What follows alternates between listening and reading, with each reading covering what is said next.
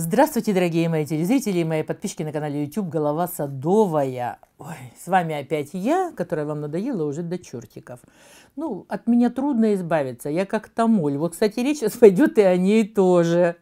У нас э, март месяц на дворе, или как это говорят, э, да, на улице, э, и мы с вами продолжаем собирать все, что у нас остается от наших э, застолий, обедов, завтраков и ужинов для того, чтобы все это как-то сохранить, высушить, там, заморозить и потом увезти на дачный участок и воспользоваться этими органическими остатками э, для большой пользы наших растений. Что же сюда входит? Вот в это все, что мы накапливаем. В следующих программах вы узнаете, зачем нам нужны сушеные банановые корки, зачем нам спитой чай – вот в таких количествах, и желательно вот мелкий, а не крупнолистовой, а если он крупный, придется растирать вот так. Значит, и, конечно же, апельсиновые, мандариновые, ну и лимонные тоже годятся корки.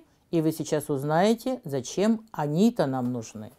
Значит, э, у нас был там где-то недалеко Новый год, и мандаринов было огромное количество э, на наших столах. Мы это все ели и собирали корки. И апельсиновые тоже. Зачем мы это делали? А, поверьте, что вот так разложенные в коробке, как это сделала я, ну, если у вас, конечно, в шкафах не лежат ветки э, цветущего лиатриса, да, мы о нем тоже говорили. Э, это прекрасное средство от моли. Да, именно мандариновые, лимонные, апельсиновые корки. И почему они нужны в шкафах наших? Да понятно. Лед моли начинается в феврале месяце. То есть она активировалась и уже откладывает свои яйца, личинки, ну, естественно, окугливается, или как там правильно сказать, отрождается и наполнит наши шкафы все абсолютно, будет есть книги, мебель, там, э, бумагу, все что угодно. Еще и крупы.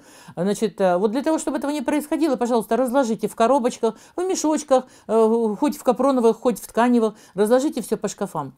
Но когда придет совсем весна-весна, почти лето, мы все это увезем на дачу.